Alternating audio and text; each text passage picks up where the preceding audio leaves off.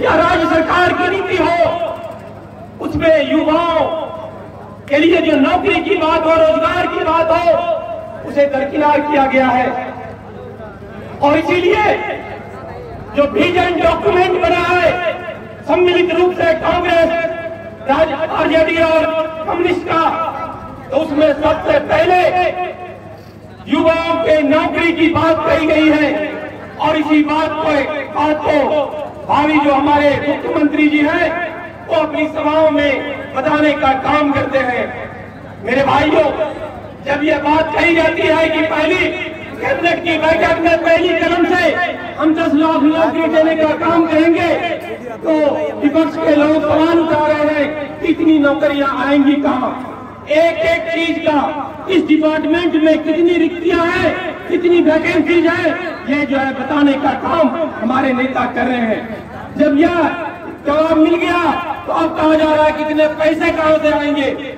और उसका जो है हमारे युवाओं ने अपने सोशल मीडिया के माध्यम से बताने का काम किया कि जिनके पिताश्री रेल घाटे में चल रहे रेल को हज़ारों करोड़ रुपए जिसने जो है मुनाफे में करने का काम किया तो उसके बेटे के पास भी वो विजन है, वो दृष्टिकोण है, और वो पैसा आएगा। आप देख, आपने देखा है इसके बाद बैकफुट पर आई भाजपा, उन्होंने अब उन्नीस लाख नौकरियाँ देने का काम किया है, जो पीछे पीछे मोदी जी ने कहा था कि हम हर साल दो करोड़ नौकरियाँ देंगे।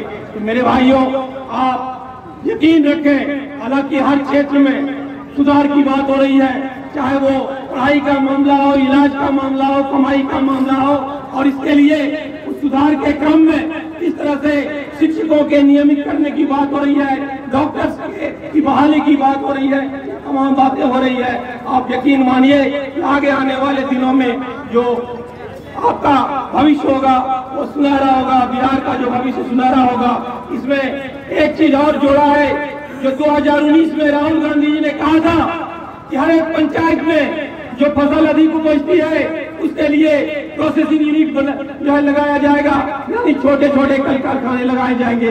भावी मुख्यमंत्री आदरणीय तेजस्वी जी, उस विजन को भी, उस दृष्टिकोण को भी जो है अपने विजन में शामिल किया है। और उन बातों को भी रखने का काम कर रहे हैं। आप यकीन मानिए ये बातें सिर्फ़ जो है घोषणाएँ नहीं है, जुमला साबित नहीं होंगी।